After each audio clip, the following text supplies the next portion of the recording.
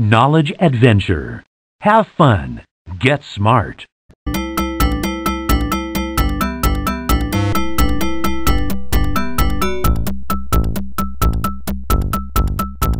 Owen, this is no lizard. By 1841, several major dinosaur fossil discoveries had been made around England. Yet most of the scientists who studied them believed they were nothing more than members of a group of giant lizards.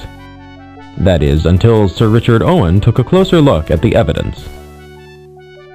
Owen was a famous British anatomist who studied the physical relationships between different groups of animals.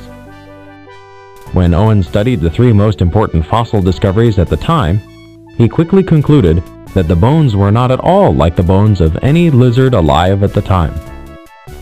In fact, they were so different that he believed the fossils must have come from an entirely different group of animal, which had long since vanished from the earth. He called this new group of animal Dinosauria, which meant terrible reptile or fearfully great reptile. Owen described these creatures as being giant, elephant-like reptiles which lumbered clumsily on all fours.